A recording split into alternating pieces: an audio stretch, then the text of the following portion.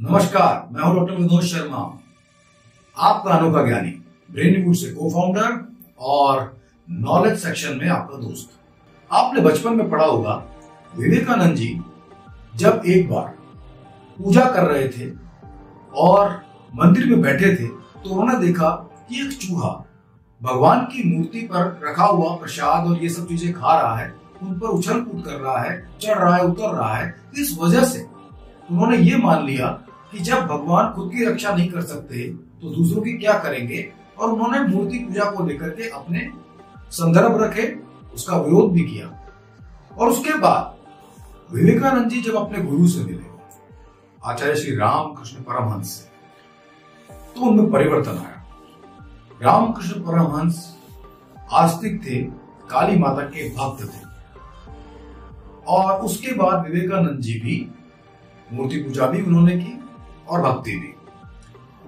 क्या आप में से कोई जानता है कि ऐसा क्या बताया रामकृष्ण परमहंस जी ने विवेकानंद जी को, जिसके बाद वो उनके भक्त बने, महाकाली के उपासक भी बने और आस्तिक भी बने?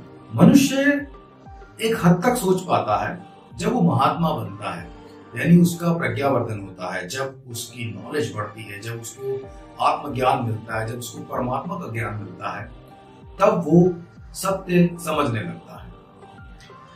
विवेकानंद जी जब मिले, उनका नाम बचपन में नरेंद्र था, जब वो रामकृष्ण परमहंस से मिले, उसके बाद उनमें बहुत चेंजेस आए।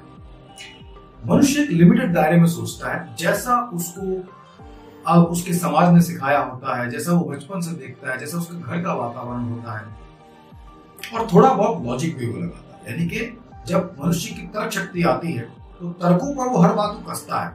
और जो बात तर्क पर ठीक नहीं लग रही होती है, वो उसे असत्य मान लेता है और या फिर उसे मज़ाक मान लेता है। या फिर उसके होने की संभावना पर प्रश्न चिन्ह लगा देता है। विवेकानंद जी जब मिले रामकृष्ण परमहंस से तो उन्होंने यही बात वापस रखी कि आप ये मूर्ति पूजा क्यों करते हैं? आपको इस पूजा पाठ से क्या मिलता है? ये भगवान अपनी खुद की रक्षा नहीं कर पाते। हमारी रक्षा कैसे करेंगे? तो उन्होंने कैसे? देखो, उनके ऊपर कभी मकड़ी चढ़ रही है तो कभी चूहा कूद रहा है, कभी मच्छर बैठे हैं। जब ये खुद उनको ही नहीं हटा पाते तो वो हमारे लिए क्या करेंगे? तो ऐसी मूर्ति, बेजान मूर्ति है, इसकी पूजा करने से क्या मिलेगा? और रामकृष्ण परमहंस जी ने इसका उत्तर दिया। उन्होंने ये कहा, आप मनुष्य हैं। मनुष्य के तौर पर आपके ऊपर जब कोई कीड़ा बैठेगा, या चूहा आएगा, या कोई दूसरा जानवर बैठेगा तो स्वाभाविक तौर पर आप उसे हटाना चाहेंगे। और आप उससे दूर रहना चाहेंगे, क्योंकि ये आपने सीखा है और ये आपकी नेचुरल टेंडेंसी है। लेकिन भगवान के लिए प्राणी सब एक जैसे ही हैं। आपको किसने कहा कि चूहे से या कीड़े से या मकड़ी से भगवान परेशान हो रहे हैं? आप हो सकते हो। तो आपने वो फील किया कि आपको कैसा लग रहा है। लेकिन वो ईश्वर है। उन्होंने ही इन सबको बनाया है। उनके लिए आप चरणों में गहरे हो, तब भी वही बात है। चूहा वहाँ बैठा है, तब भी वही बात है। आप प्रसाद चढ़ा रहे हो तो भी अच्छा है, चूहा उसे खा रहा है तो भी अच्छा है। वो ईश्वर है। वो उस तरह से नहीं सोचते जैसे आप सोचते उन्होंने जो संसार रचा है, उसमें जो कुछ स्वाभाविक रूप से होता है, जो नियमों के अंतर्गत होता है, जो किसी का भला करता है, जिससे किसी को आनंद मिलता है और वो नियति और नियमों पर सही है, उसको ईश्वर स्वीकार करते हैं। यस मूर्ति ये सब नहीं खाएगी। ये सब कोई ना कोई तो खाएगा। किसी न किसी को तो मिलेगा, कहीं ना कहीं तो जाएगा। तो चाहे कोई कीड़ा आए, चाहे कोई चूहा आए, ये मूर्ति एक प्रतीक है। हम अपनी श्रद्धा उसमें देखते हैं।